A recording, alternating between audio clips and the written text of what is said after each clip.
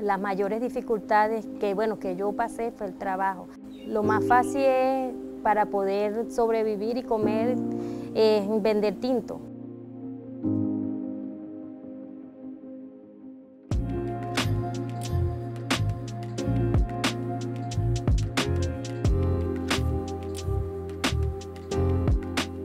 Mi nombre es Heribel Quero, tengo 43 años, nací en Venezuela, en estado Zulia. Teníamos todo, ajá, la felicidad, estamos unidos en familia. El momento crítico em, comenzó fue cuando ya empezamos a ver la escasez de la comida. En ese tiempo llegó mi amiga y me dijo, Heribel, vamos. Cuando yo vi que no tenía nada, le dije, bueno, vámonos, nos vinimos y bueno, eso fue algo para mí que cuando yo dejé a mi mamá, dejé a mis hijos, este, no fue fácil. Ahí decidí venirnos por la trocha, es muy peligroso porque ahí hay varias personas y a cada una hay que darles dinero.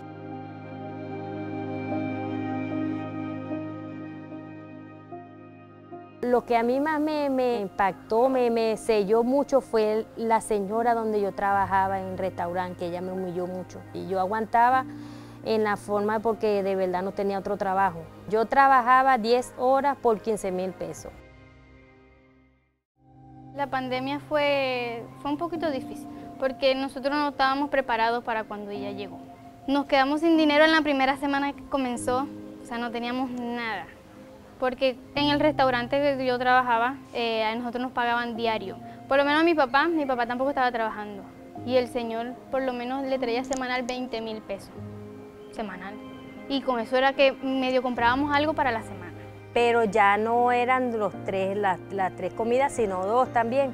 No desayunábamos para poder rendir la, la comida, pues la del almuerzo con la, con el desayuno, porque no, se, no alcanzaba. Pues. O sea, y ahí fue empecé a vender otra vez, a retomar la venta de tinto.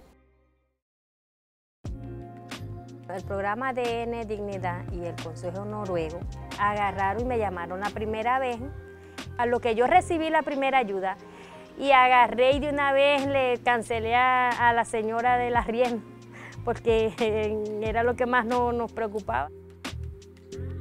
Con Eriver pues no se tuvo un contacto directo de, presencial, por lo que cuando se contactó con ella fue a través de ya de, teléfono. En ese momento los iban a desalojar de, sus, de las partes donde estaban viviendo porque por la pandemia ya no pagaban arriendo. Entonces son, son casos que conmueven de que ya si no pago hoy, pues me sacan. Le agradezco mucho porque de verdad llegó como que en ese momento que, más como que uno quería la, ayuda de alguien, de todo eso, porque ya no hallaba uno qué hacer porque no, había trabajo así, no, no, no había entradas así. Mi sueño es volver a Venezuela, estar allá con mi familia, con mis hermanas, con mi mamá.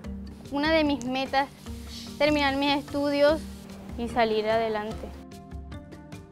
Yo lo que le diría es que bueno, que, que no porque ser uno inmigrante uno tienen que rechazarlo, tienen que señalarlo, no, uno tiene que más vale darle, que les den oportunidades a uno. Yo le diría que eh, aprendieran a creer y a confiar, no todos son malos y que todos tienen ese deseo de superarse porque no ha sido fácil para ellos salir de sus casas. La esperanza es lo último que se pierde y, y para mí eso es algo que jamás se va a acabar.